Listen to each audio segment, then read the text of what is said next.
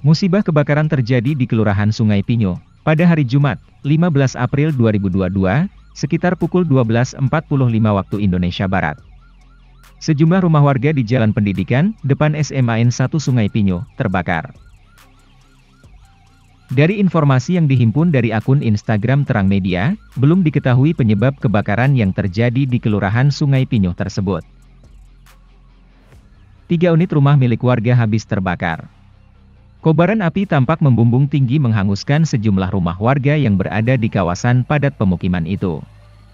Cuaca yang panas disertai angin kencang menyebabkan api dengan cepat membakar seluruh bangunan rumah. Bahkan, si jago merah dengan ganas merembet ke bangunan rumah warga sekitar. Hingga berita ini ditulis, kebakaran masih berlangsung. Petugas pemadaman kebakaran dibantu warga sedang berusaha memadamkan api yang telah menghanguskan sejumlah rumah warga. Terima kasih sudah nonton.